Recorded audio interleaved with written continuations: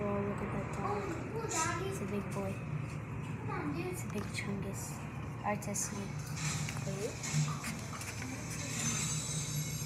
Look at that dog. It's huge. It looks tiny from the outside, but when it's close up, it's huge.